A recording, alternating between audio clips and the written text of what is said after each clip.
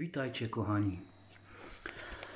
Nagrywam filmik z serii Pytanie do zbawionych na zawsze.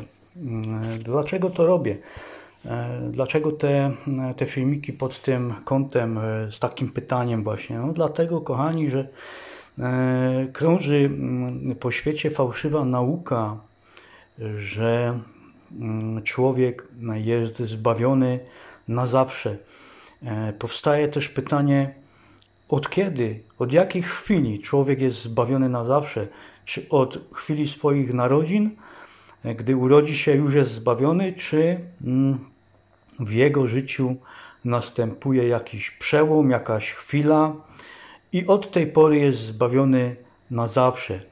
E, czy mm, co, co musi się stać, aby człowiek został zbawiony? E, to też takie ciekawe e, pytanie i sam jestem ciekaw właśnie, co, e, co na ten temat bym usłyszał. Natomiast tutaj takie pytanie krótkie, tendencyjne wręcz. Moi drodzy, jak to jest, że takie słowa, jak za chwilę Wam przeczytam, znajdują się w Słowie Bożym, skoro jesteście zbawieni na zawsze? Oczywiście zwracam się do tych którzy twierdzą, że są zbawieni na zawsze. Mm, to jest, moi drodzy, e, list Jakuba 1:12. E, I czytamy: Szczęśliwy człowiek, który przechodzi przez próbę, bo gdy zostanie wypróbowany, otrzyma wieniec życia, który Bóg obiecał tym, którzy go kochają. Moi drodzy, zapewne znacie ten werset, ale teraz powstaje pytanie, e, dlaczego ma być szczęśliwy człowiek, który przechodzi przez próbę, e, moi kochani, e, dlaczego on ma się cieszyć, że spotykają go jakieś nieprzyjemności, że zostaje poddany próbie, która jest dla niego no, niechciana, tak? Nie, to nie są chciane przez nas sytuacje nieprzyjemne. Dlaczego ten człowiek ma się cieszyć, że mm, przez to przechodzi, e, skoro on jest zbawiony na zawsze? Skoro on się zbawił na zawsze, to on nie potrzebuje żadnych prób, żeby cośkolwiek udowadniać, e, żeby podobać się Panu Bogu, no bo on jest zbawiony na zawsze. Więc nie może się stać coś, co odbierze mu zbawienie, prawda?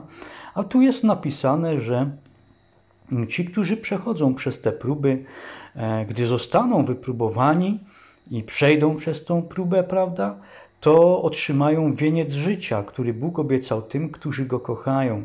Oni otrzymają wieniec życia.